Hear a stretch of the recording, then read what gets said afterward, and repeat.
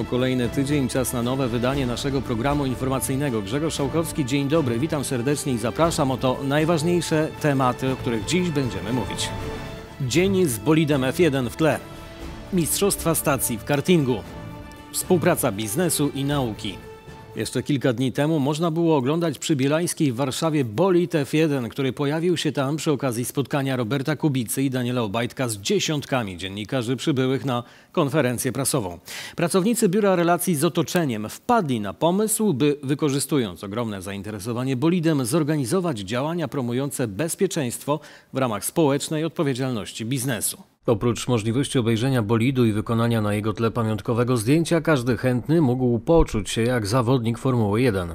Najbardziej mnie urzekł samochód Roberta Kubicy, na którym on sam testował. Jest po prostu bardzo duży, nie sądziłem, że może być aż taki ciekawy. Organizatorzy podsumowali, że z atrakcji skorzystało ponad 450 osób. Wykorzystanie bolidu F1 miało wzmocnić główne założenia spotkania. W związku z naszą nową strategią CSR do 2022 roku, w tym roku PKN Orlen stawia m.in. na bezpieczeństwo. Dla uczestników dostępne były symulatory jazdy, w tym jeden niezwykle rzadko spotykany w Europie, a także nowoczesne urządzenie treningowe wykorzystywane m.in. przez kierowców F1 oraz WRC. Zwracamy tutaj uwagę nie tylko na specyfikę Formuły 1, ale przede wszystkim na bezpieczeństwo, e, którym e, każdy sposób poruszania e, się po drodze i po torze wyścigowym powinien się charakteryzować. Dlatego też tor wyścigowy jest obrędowany w odpowiedni sposób. Znajdują się na nim hasła,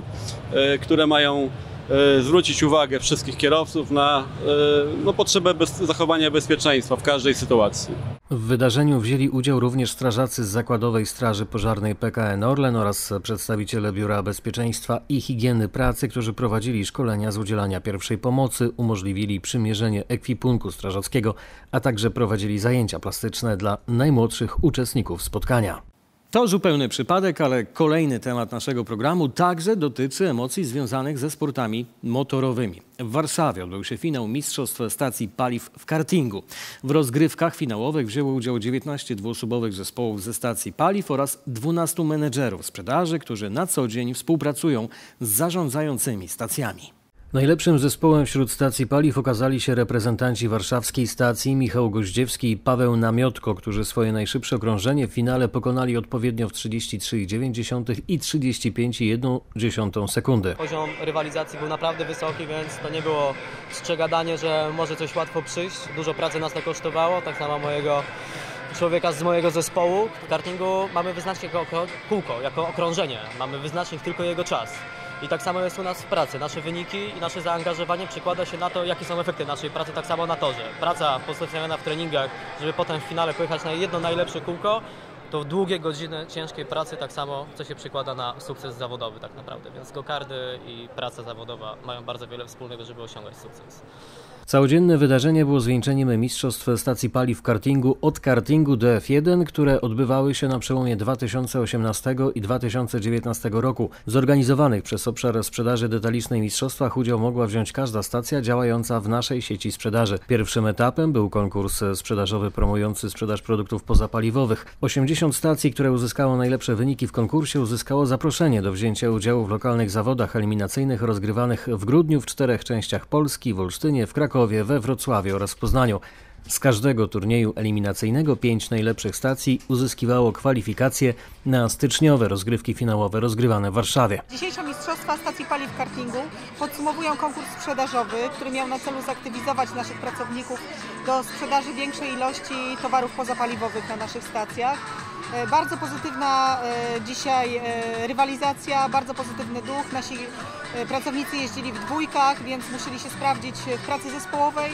No, tak jak na co dzień muszą się również sprawdzać we współpracy i w pracy zespołowej.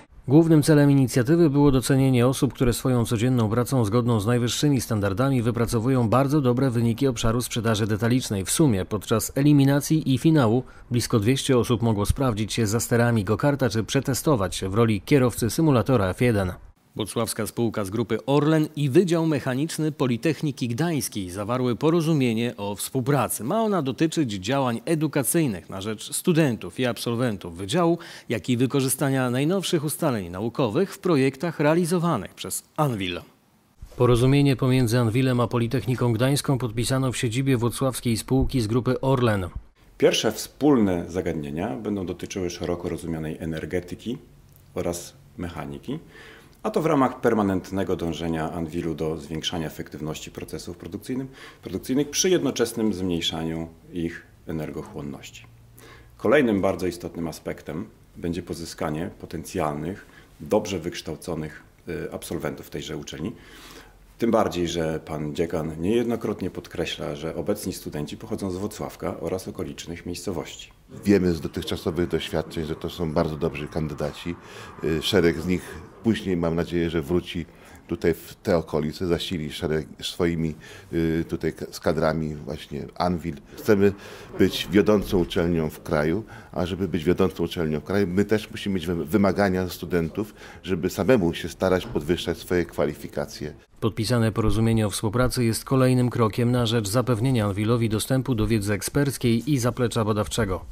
Orlen jest partnerem tytularnym projektu Orlen Przedszkoliada Tour, największego w Europie cyklu imprez o charakterze sportowym dla aktywnych przedszkolaków. W imprezach biorą udział przedszkola ich reprezentacje uczestnicy ogólnopolskiego systemu rozrywki ruchowej Przedszkoliada.pl. Jedno z takich spotkań odbyło się kilka dni temu w Płońsku, a zaproszonymi gośćmi, profesjonalnymi sportowcami byli piłkarze ręczni Orlen Wisły Płock.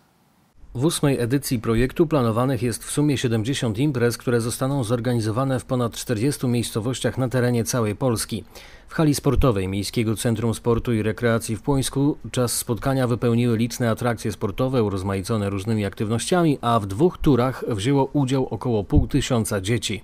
Fantastyczna inicjatywa. Myślę, że aktywizacja dzieciaków w tym wieku jest niesamowicie ważna. Każda minuta z nimi spędzona na boisku, na podwórku, gdziekolwiek, to jest naprawdę nieocenione. Pokazaliśmy e, dzieciom z, e, z przedszkoli e, trochę piłki ręcznej. Ja myślę, że mieli duże zabawy i można, że który, z, który, które dziecko z, z tych będzie raz grać za Wislu. Sup, super to było. Ja myślę, że e, jak powiedziałem, dziecka mieli duże zabawy, a te zabawy jsme mieli i my.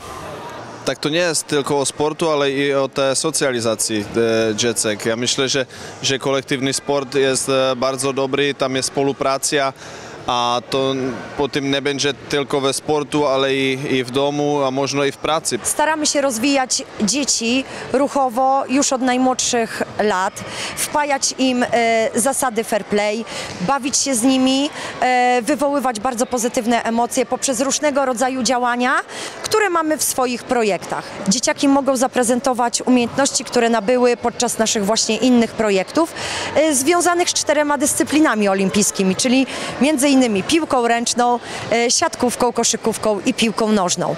E, Misją naszą jest przede wszystkim zapewnienie właśnie rozrywki ruchowej dla dzieci w wieku przedszkolnym. Cykl imprez dla przedszkolaków rozpoczął się w połowie stycznia, a zakończy 31 marca w Płocku w Orlen Arenie.